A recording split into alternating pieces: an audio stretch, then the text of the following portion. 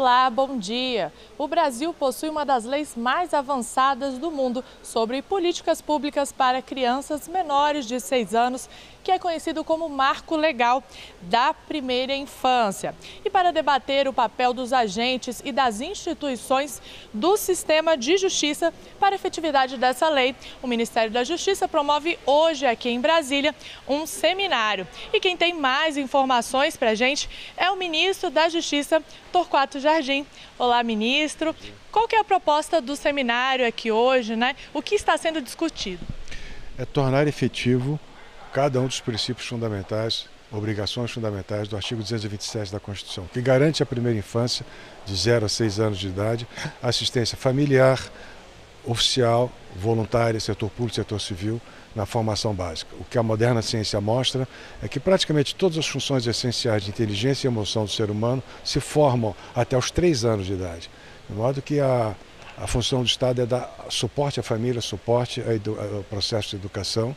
E então que nós temos aqui hoje é um encontro de representantes da União, de estados, de municípios, Ministério Público, Defensoria Pública, com os especialistas, educadores, psicólogos, psiquiatras, pediatras, sociólogos, historiadores que tratam do tema pelo Brasil afora. Tem gente do Brasil inteiro.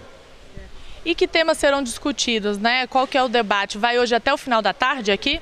Vai até o final da tarde. Esperamos ter sugestões concretas de aperfeiçoamento da lei.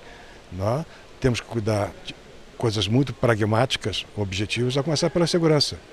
É? Muitas dessas crianças vivem em zonas pobres, periferia da cidade, favelas, comunidades pouco assistidas, portanto, são expostas, desde a mais tenra idade, a uma vulnerabilidade de segurança pública.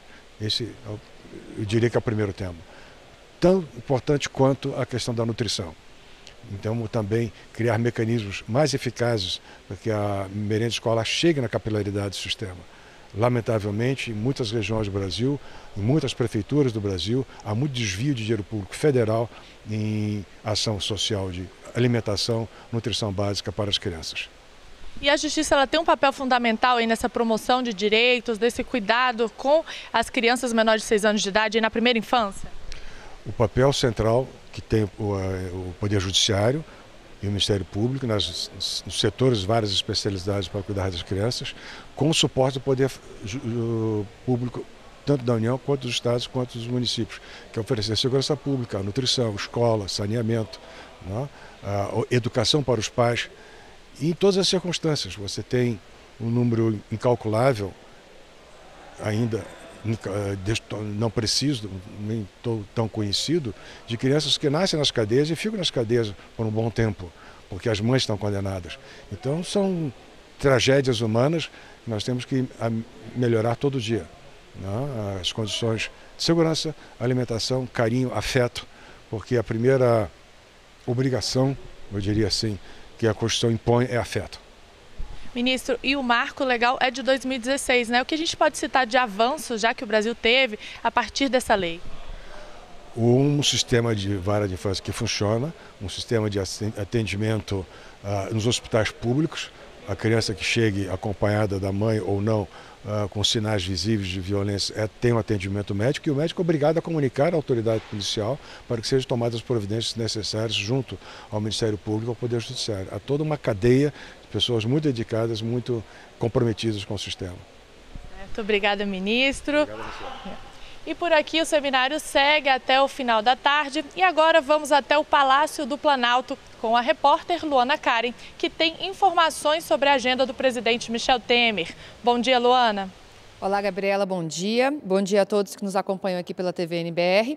O presidente Michel Temer participou hoje à noite em São Paulo da 27ª edição do Prêmio Anamaco, que é direcionado aos fabricantes de material de construção, os lojistas e os atacadistas do setor. E também hoje acontece mais uma etapa do processo de interiorização de venezuelanos, ou seja, a transferência dos imigrantes que estão em Roraima para outros estados do país. 30 deles saíram nesta terça-feira de Boa Vista para Igaraçu, em Pernambuco. A interiorização é uma das medidas adotadas pelo governo federal para o acolhimento dos imigrantes que estão fugindo da crise na Venezuela. Com as transferências, os venezuelanos têm mais chances de conseguir um emprego e, assim, de ter uma vida melhor. Vamos ver na reportagem de Cleide Lopes. Foi por causa da crise na Venezuela que Rolando veio com a mulher e filhos viver no Brasil. Depois de passar um ano e quatro meses em Roraima, ele está há um mês em Brasília. E em apenas três dias na capital federal, já estava empregado. Todavia se vê a motivação de todas as pessoas querer ajudar, querer dar esse impulso que necessita, entendeu? Dar essa oportunidade que quizás em outra parte não tem. A Pet Shop tem 120 funcionários. Três deles são venezuelanos. A empresária conta que foi a história de vida de cada um deles que a comoveu a dar uma chance de emprego. A vontade surgiu da, da ideia de ajudar uma, umas pessoas, né, famílias que deixaram tudo para trás, deixaram parte da família para trás, deixaram uma vida para trás em busca de algo melhor. Eles querem muito trabalhar, eles querem muito aprender, é, eles estão muito dispostos, né? Todo, o tempo todo que você chega, eles estão de bom humor, eles estão animados, eles estão felizes. E eu acho que esse brilho no olhar encanta muito, né? Mais de 1.800 venezuelanos já passaram pelo processo de interiorização ou seja, foram levados de Roraima, que é a porta principal de entrada desses imigrantes no Brasil, para viver e trabalhar em outros estados do país. Aqui em Brasília foram acolhidas 58 pessoas e deste total, 75% já conseguiram emprego. A nossa ideia é que ele entre na nossa economia, que ele se insira na nossa economia. Então, é feito seminários de sensibilização com as federações da indústria, com as federações do comércio, para sensibilizar os empresários para a contratação também dessa mão de obra que vem muitas vezes qualificada. Então, a gente tem uma taxa de empregabilidade que acontece de uma maneira até rápida. Agora, com a carteira de trabalho assinada, o desejo do venezuelano Franklin, de 19 anos, é crescer dentro da empresa. Eu espero poder continuar escalando, escalando para chegar a mais grande.